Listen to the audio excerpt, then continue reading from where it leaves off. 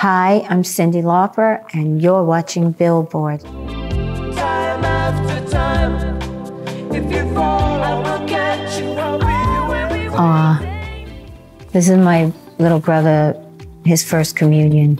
He was seven, I was 12. My sister was going on 14. I don't think she liked getting dolled up like that. Oh gosh. That was in my mother's apartment on 90th Street. My dog Sparkle, my Nana, and me in the 70s. I would say, what, 1976? Oh gosh.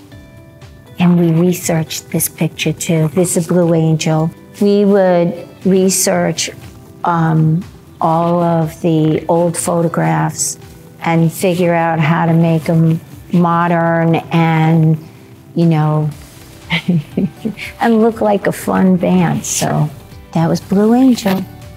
That was our press shop, our second, third. We had a couple of incarnations. Oh my God. Yeah, those were the days, huh? Um, this was a photo shoot. We were touring in 1989 and we wrecked the room like that. We thought it'd be fun. That was my makeup artist, Jody Morlock, and that was my stylist. And also, she was my boss at one point at Screaming Mimi's. And she was also my stylist. She styled for many people in the 80s. She was pretty awesome. Laura Wills. Last one. Okay. this was my band Flyer. As you could see, I was a little influenced by Freddie Mercury. I guess I had a Suzi Quatro hairdo, but then a lot of people did at that time.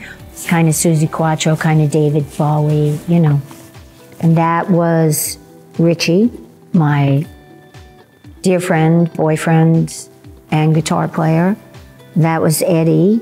Uh, the drummer's over here, you can't see him, and the other guitar player's on the other side. As you could see, we were just starting at that point, trying to figure out a look.